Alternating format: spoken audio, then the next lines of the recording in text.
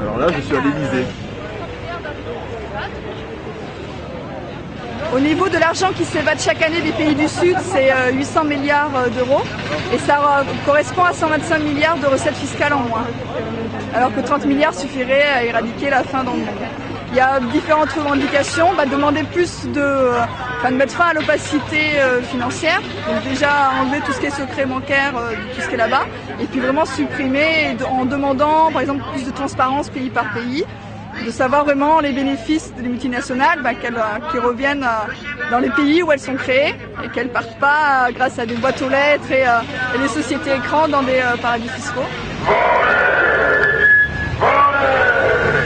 L'argent L'argent J'aime la façon dont ils ont présenté ça avec humour. Je pense qu'en sachant mieux comment fonctionnent les choses, on pourrait mieux dire non à certains agissements.